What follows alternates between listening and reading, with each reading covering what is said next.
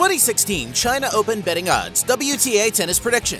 The China Open started on the WTA Tour in 1994 as a singles tournament, with the doubles draw being added a decade later, which is when it was moved from Shanghai to Beijing. It started out as a Tier 4 tournament, then moved to Tier 2 in 2003, and then the premier mandatory level in 2009.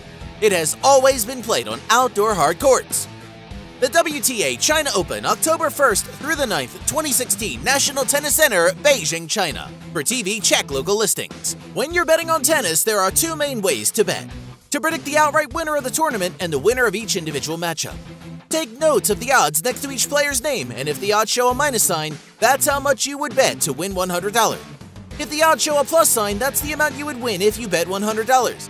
You can also find spread betting options which allow you to bet on who will win the match and by how much. For example, it could be only one player minus 2.5 games, which means they would have to win by 3 games or more to cover the spread. For the points, they are the same for singles and doubles from the winners to the round of 16. 1,000 points, then 650 for the finals, 390 for the semifinals, 215 for the quarterfinals, and 120 for the round of 16. It is 5 points for the round of 32 in doubles, and it stops there, while it is 65 points at the same level for singles, where it continues with 10 points for the round of 64. Finally, it is 30 points for the final qualifier, 20 points for the second, and 2 points for the first qualifier.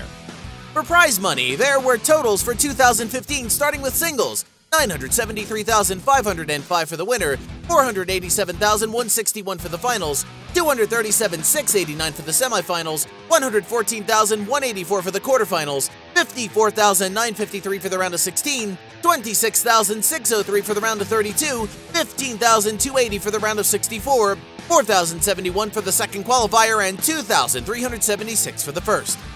For doubles, it was $329,354 for the winners, $165,268 for the finals, $73,577 for the semifinals, $33,959 for the quarterfinals, $15,850 for the round of 16, and $7,360 for the round of 32. Last year's top seed was Romania's Simona Halep, who was second in the world, and the top 16 seeds were all ranked in the top 20. As a WTA Premier mandatory event, the top players will be here in Beijing if they are healthy. Spain's Garbine Muguruza won her lone title of 2015 here, beating Switzerland's Timea Bacsinszky in straight sets. Only two players have won this event more than once as Serena Williams of the United States and Russia's Svetlana Kuznetsova have been victorious twice. The doubles title was won by Switzerland's Martina Hingis and India's Sania Mirza, who won their eighth title of the year by defeating the Chinese Taipei team of Chen Chan Hao-ching and Chan Yung-jan. It was the fourth year in a row that Black had been in the finals here with three different teammates, and she is now one of the three players to win this event twice, along with China's Peng Shuai and Chinese Taipei's Xie Suwei.